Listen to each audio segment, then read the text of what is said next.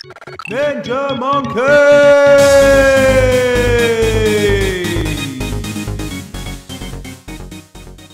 My name is Nerdy Gooner. Today, we've got quite a few news stories to go through once again. First off, we're going to start with Halo 3 ODST. Halo ODST took you away from the Master Chief, and I believe it was set during the events of Halo 3 on New Mombasa. You actually play as a shock trooper. I believe you're on the other side to where you land as the Master Chief in that game, and you kind of fight your way through New Mombasa. It's not a bad little game, quite a short one, but it's not a bad little game. It also has a co-op wave-based mode called Firefight, which is really quite fun. But that is now available on the Microsoft Store and on the Steam Store. So if you're into your Halo, I definitely recommend picking that up. For all of you awaiting Cyberpunk 2077, Patrick K. Mills, the lead graphical designer, has said that Cyberpunk will be shorter than The Witcher 3's main story. What this means exactly, he didn't give exact figures, but I believe personally it will say it says to me that Cyberpunk is going to be around about the 100 hour mark to complete as a game. That's that's just the main story. So whether there's it's going to be similar to things like The Witcher, to things like Skyrim, where there is a lot of side quests to keep you going, I'm not 100% certain. The way he worded it was that it is the main story is going to be shorter than The Witcher 3's main story.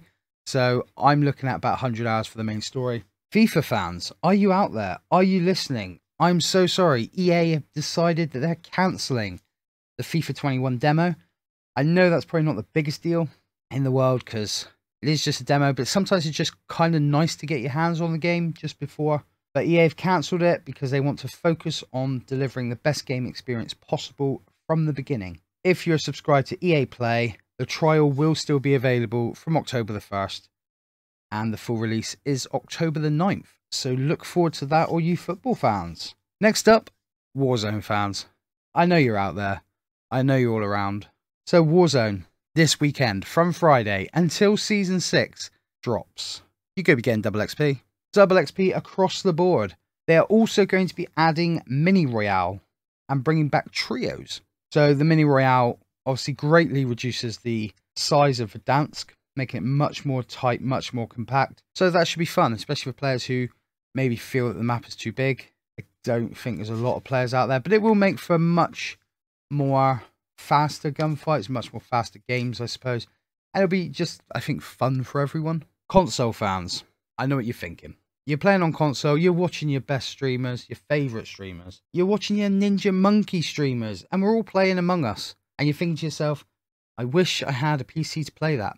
Well, have no fear, because they are working on the console version of Among Us. They are having some troubles. So, with the way that there is communication done within Among Us to talk uh, after someone is found dead or to call an emergency meeting and discuss who is the imposter and, and so on, they are trying to work out whether they can implement a way to do quick communications, similar to how Rocket League do it with the quick press of good game, unlucky, that kind of thing. They are working on it, so that is semi good news, at least for your console players. But of course, the game news of the week, the one that I'm sure you guys have actually been waiting for. Bethesda has been bought out by Microsoft. Yes, it is true.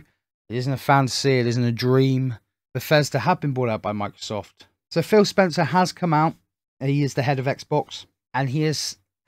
It, it's strange because Bethesda are a studio. Bethesda Game Studios are one studio. ZeniMax is a slightly different side to the same studio, but it, it still falls under the Bethesda banner. Now, Phil Spencer has said he plans to leave ZeniMax alone. Now, this says to me that they are not leaving the Bethesda side alone. That that weird quote to say they plan to leave ZeniMax alone doesn't fill me with the most confidence on the Bethesda side. I'm not sure. I'm not sure. We'll have to see how that part of it pans out. Maybe that's just Phil Spencer just trying to be a bit cryptic because he he does have a way with words of making things seem over the top to what they need to be. They have, of course, said that Elder Scrolls Online will not change across the board. It will not change. Their commitments to that will stay the same. They will work on it exactly the same way. There will be no stopping of the service to PlayStation or PC or anyone else. It will go similar to how uh, Minecraft has gone. They're just going to let it carry on as it is, and they're happy with that.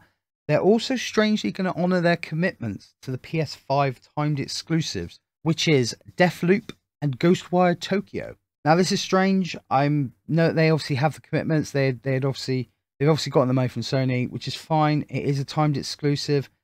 They do have a deal, but sometimes with acquisition takeovers like this, deals like that kind of get nullified. There's usually a clause in the contract somewhere, but this time maybe there wasn't, or maybe maybe Xbox are actually thinking about logically. Maybe Microsoft are thinking that actually they can make money off of a PS5 times exclusive and then bring it out on the Xbox and PC a year later and make more money again. The other bit of news is any future games that are made by Bethesda will be on the Game Pass from day one. So that is brilliant news for you people who have Game Pass. You're gonna have the next the next Elder Scrolls, for instance, is to be there on the Game Pass on day one. You lucky, lucky people. But for now, thank you for watching. Playing now should be the trailer. It's a mod. It's a recreation of Fallout 4, and it's recreated to be like Miami. This has been worked on by a outside team. It's not being worked on by Bethesda. I just thought I'd show you this because of the big Bethesda news. I think it looks awesome. When it is released, any of you PC guys, I think you should check this out. It's going to be, it looks so much fun. And if you like the video, don't forget to comment, like, subscribe, hit that bell for more notifications, and we will see you next week. Ninja Monkey!